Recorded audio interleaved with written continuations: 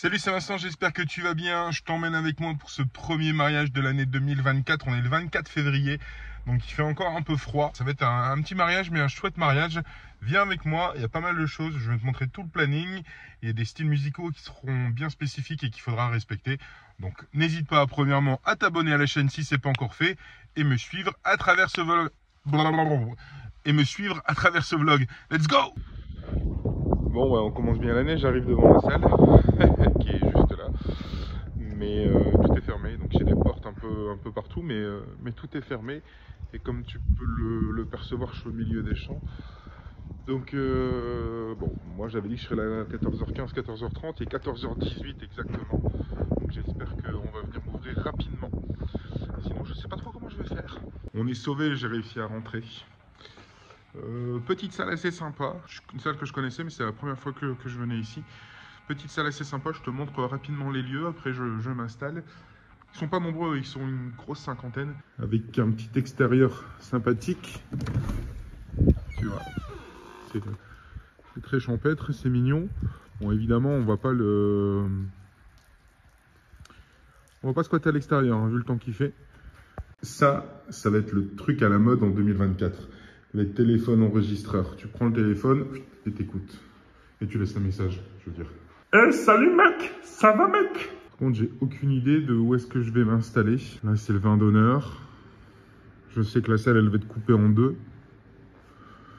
Avec les paravents. Pas évident parce que, en termes de place, j'ai vraiment pas beaucoup de, place de configuration. D'ailleurs, ça me fait penser à un truc, je voulais te, partager quelque chose. Moi, je, je, dis pas aux mariés, je vais vous mettre deux totems, deux lyres, deux barres avec quatre projecteurs sur chacune des barres, ou je vais faire ci, je vais faire ça. En fait, moi, je dis tout simplement aux mariés que je vais installer un système son et un système lumière qui correspond au nombre de personnes, donc là, une cinquantaine de personnes, et au lieu de réception. L'idée, c'est que quand tu as 50 personnes, tu ne transformes pas un mariage, tu vois, dans une salle champêtre comme, ici, comme ici euh, en Tomorrowland. Et tu vois, si j'avais une, installation, type que j'avais présentée aux mariés, bah, vu la place que j'ai euh, là-bas, ça serait compliqué de, pouvoir euh, la faire. Donc en fait, moi, je ne vends pas de matériel et euh, j'explique que je vends une prestation et le matériel va venir se greffer à la prestation en fonction des besoins euh, des mariés, de la salle, etc. Sauf si évidemment les mariés me disent nous on veut euh, absolument avoir des totems, des ci, des ça, mais au final c'est pas le plus important. Hein. Le plus important c'est de bien gérer sa playlist musicale pour que les gens dansent et s'amusent.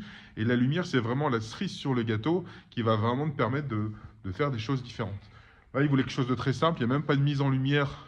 Tu vois, on va pas mettre de projecteur de mise en lumière dans la salle. Et je vais faire une installation qui va me permettre d'être euh, d'être là. Voilà, bon allez, j'arrête de parler et je m'installe. Bon, du coup, ce qu'on a fait, c'est qu'on a coupé ici la salle pour faire le vin d'honneur à l'intérieur. Là, ça va être le coin où les musiciens vont jouer. Euh, et moi, du coup, je me suis installé... Euh, installé là-bas. On optimise la place comme on peut, c'est pas toujours évident, là l'endroit n'est pas très très grand, il y a des ateliers traiteurs etc qui vont être faits. Donc euh, un peu de place pour la musique live pour le vin d'honneur, moi je vais jouer de la guitare et ensuite il y a une pianiste qui va jouer également et après euh, on a la partie DJ là-bas comme je te l'ai montré dans le fond. Bonne Mustang à l'ancienne. Les invités sont en train de rentrer tranquillement. J'ai mis un petit fond musical, temps que tout le monde arrive et prenne un verre. Et ensuite, on va démarrer la partie euh, vin d'honneur live. Euh, donc là, bon, pas grand chose à dire. Par contre, il y a pas mal d'animations pendant la soirée. Il y a une battle de danse, il y a un blind test, euh, il y a un, jeu du ruban un peu particulier. Tu verras, je vais te filmer tout ça. Donc voilà, j'espère que tu peux t'en inspirer de ce vlog et surtout proposer des idées à tes futurs, futurs mariés quand tu prépares et que tu organises tes soirées. On y va, let's go! 啊哈哈哈哈哈哈哈哈哈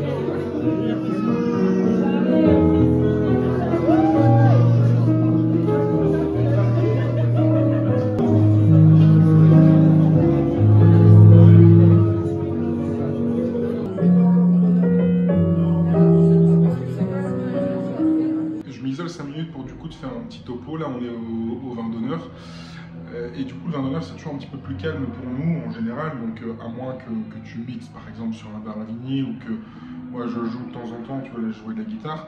Là, c'est une pianiste qui a repris le, qui a repris le, vin d'honneur. Et du coup, qu'est-ce qu'on peut faire pendant le vin d'honneur? En fait, tu peux te servir de ce vin d'honneur. Moi, ce que je fais toujours déjà, c'est que je vais trinquer avec les mariés. D'office, je vais trinquer avec eux. Félicitations, ça se passe bien comme ça se passe comme vous voulez. Voilà, c'est des déstress, je vais leur parler un petit peu. Ensuite, ce que je vais faire, c'est que je fais le point avec le traiteur sur le, sur le planning pour tout bien checker, à quelle heure on arrête le vin d'honneur, à quelle heure on lance l'entrée des mariés, etc. Et j'essaie de capter aussi les témoins, de voir un peu les témoins en secret pour les surprises, s'il y, a des surprises. Là, en l'occurrence, il n'y a pas énormément de surprises de la part des témoins, c'est plus les mariés qui ont prévu des choses. Donc, euh, donc je n'ai pas besoin d'avoir les témoins, mais ça me permet de, de mettre du coup un nom sur un visage et, euh, du coup d'aller les voir et de prévoir les, surprises, les jeux, les discours, etc. Ce que j'essaie de, repérer aussi, c'est les parents des mariés. Euh, parce que souvent, je me demande de de faire du bruit pour les parents des mariés, tu vois, d'acclamer les parents des, mariés, des parents des mariés. Alors attention, si tu fais ça, c'est une bonne idée. Par contre, si tu le fais, et surtout bien qu'il n'y a pas eu de barame dans la famille avec un décès, etc. Donc, euh, sinon, sinon fais-le pas, sinon tu vas, planter l'ambiance. Donc voilà, les petits conseils que je peux te donner. Mesdames et messieurs, soyez les bienvenus pour le mariage de Magali et Stéphane. Est-ce que ça va? Est-ce que ça va? Ok. Les mariés vont arriver dans quelques instants. Quand les mariés vont arriver, je vais vous demander de faire un maximum de bruit. C'est le premier mariage de l'année. Donc il va falloir envoyer du lourd. Il faut que je me souvienne de vous en fin d'année, que je me disais le mariage du 24 février, c'était la folie. Ouais Alors si je prends un peu la température, faites du bruit pour les mariés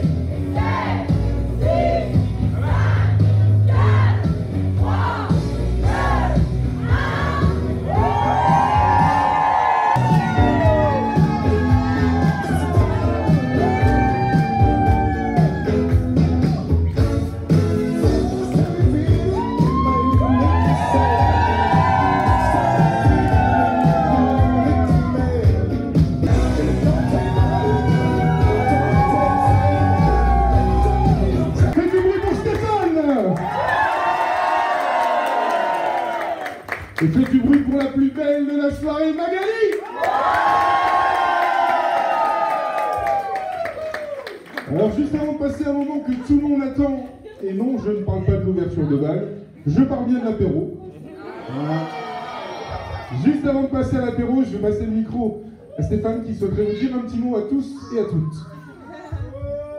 Bonjour tout le monde Et je déclare officiellement, mesdames et messieurs, l'apéro ouvert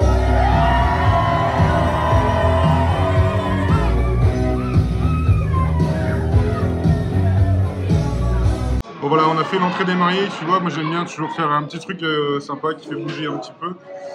Euh, là, ce qu'on va faire, c'est que euh, euh, T'as vu, il fait, un, il fait un temps pourri dehors, donc heureusement qu'on a tout fait le vin d'honneur à l'intérieur. En même temps, on est le 24 février, donc on peut pas s'attendre non plus à un super temps. Donc là, on passe, maintenant que l'entrée des mariés est faite, on passe à l'apéro. Et pendant l'apéro, je vais faire le jeu du ruban classique, tu vas me dire. Sauf que c'est pas avec le bouquet de la mariée, c'est avec un saucisson pour les hommes. Donc euh, on va voir un peu ce que ça donne et évidemment je vais te filmer ça. Et tu vois ce que j'aime bien faire et ce que je fais d'ailleurs euh, quasiment tout le temps une fois que l'entrée des mariés elle est faite. Euh, tu vois, je dis qu'il y a un petit discours de la part du marié ou de la mariée qui est fait et puis après j'annonce l'apéro, tu vois, j'annonce l'apéro. Et ce que je fais du coup dans la foulée c'est que je relance la chanson qui a été choisie par les mariés pour l'entrée des mariés. L'idée, tu vois, c'est de faire une petite piqûre de rappel. Vas-y, tu peux passer. Hein.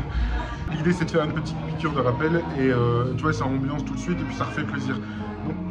L'entrée des mariés sur la musique, petit discours, j'annonce l'apéro, et là je remets leur chanson euh, euh, avant de passer sur une musique plus calme pour l'apéro. Alors il y a une tradition dans un mariage, c'est que la mariée doit faire son lancer de bouquet, et en toute logique, la personne qui attrape son bouquet se marie l'année suivante.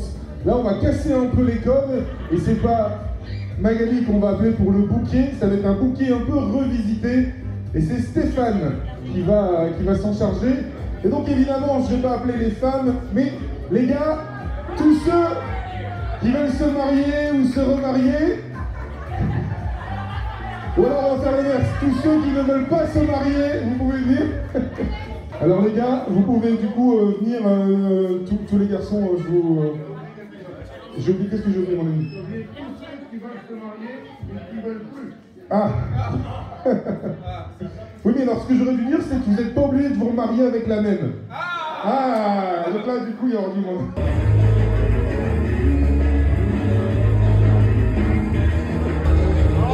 C'est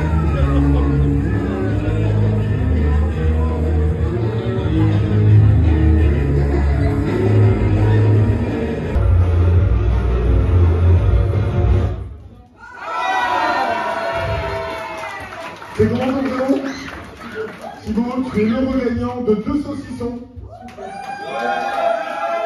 Bon voilà, les jeux et les animations sont terminés. Entre l'entrée et le plat, j'ai dû faire un blind test. Alors ça du coup je l'ai pas filmé parce que je peux pas du coup envoyer la musique, surveiller, gérer. C'est trop la galère de, de filmer et de... Bon, tout le monde sait comment ça fonctionne un blind test de toute façon. Et là on va passer sur l'ouverture de balle, encore un ou deux discours. On va passer sur l'ouverture de balle. Et let's go, on les fait danser.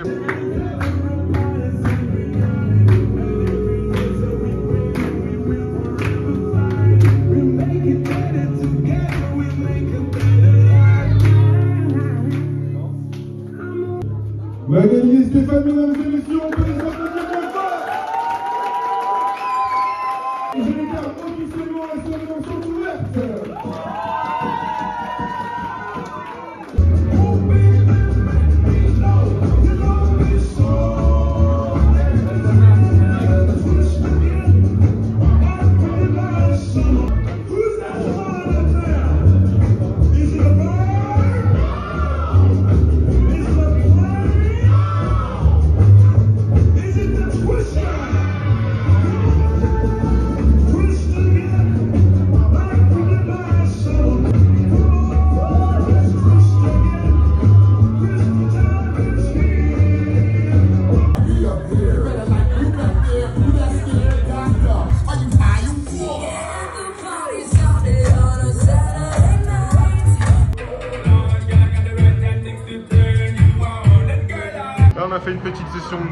Euh, on passe au fromage et euh, après le fromage, je fais une battle de danse. Donc tu verras, c'est sympa, c'est pas inspiré pour mettre de l'ambiance, ça fonctionne plutôt bien. Euh, tu vois, après le fromage, souvent ils sont un peu lourds, ils viennent de manger, ils ont déjà dansé euh, une demi-heure, trois quarts d'heure. Donc là, ça permet de, remotiver un petit peu les, troupes. Donc du coup, tu verras, je vais, je vais faire une haie d'honneur et en faire une battle de danse, les hommes contre les femmes. Et l'idée, ça va être de mettre des morceaux bien girly pour les femmes et des morceaux qui bougent euh, pour, euh, pour les hommes. Et on va faire une battle de danse comme ça, homme-femme. Et puis après, le dernier morceau, ça va être, euh, c'est reparti pour, euh, pour faire danser. Donc c'est une bonne idée si tu veux euh, relancer ta soirée, une battle de danse homme-femme. euh, avec une haie d'honneur, de toute façon, je te filme ça et euh, n'hésite pas à t'en inspirer. Mesdames et messieurs, la mariée Magali Et je demande à toutes les filles, toutes les copines, toutes les amies, toutes les filles de la famille de Magali de venir la rejoindre, s'il vous plaît. Maintenant, je vais demander à Stéphane de bien vouloir venir nous rejoindre. Mesdames et messieurs, le marié Et pareil, les gars, je vous invite à rejoindre le marié. Bon, la question fatidique. C'est qui les meilleurs? C'est les femmes ou c'est les hommes?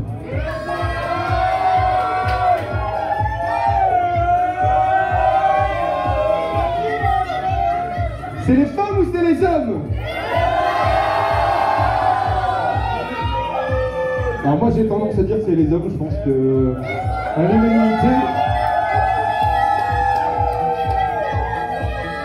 On va tester ça avec une battle de danse, mesdames et messieurs. Alors, je vais envoyer un morceau bien girly. Et les filles, le maître mot, c'est de vendre du rêve. Ouais.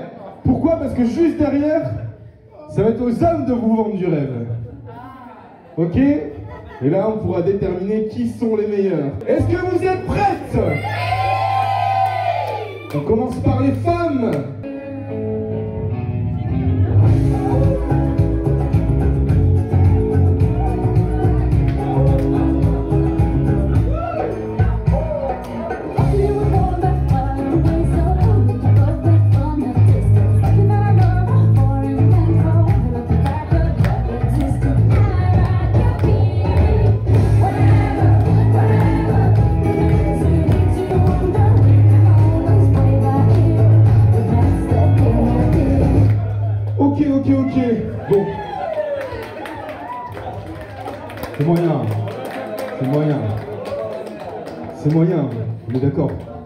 Je suis sûr que vous allez les chercher. Que tu vas aller, voilà, tu vends du rêve à ta femme. Voilà, tu vois, ils n'ont pas trop osé s'avancer, elle est encore un petit peu timide. Ah, t'as le droit de les toucher, de faire ce que tu veux. Les gars, est-ce que vous êtes prêts? Regardez ce que c'est, mesdames et messieurs, vendre du rêve.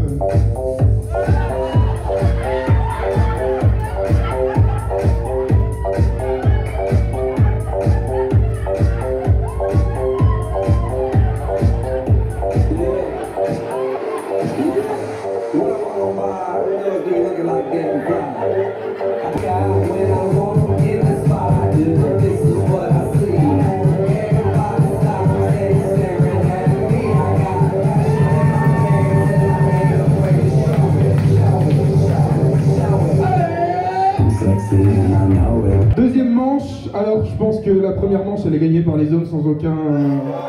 Ok.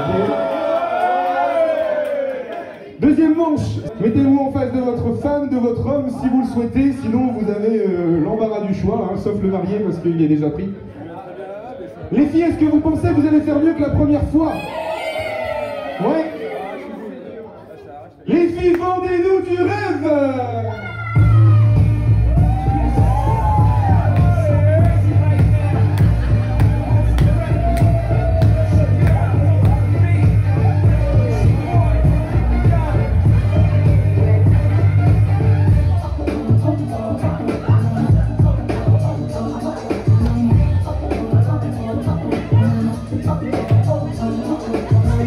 Les gars, est-ce que vous êtes prêts?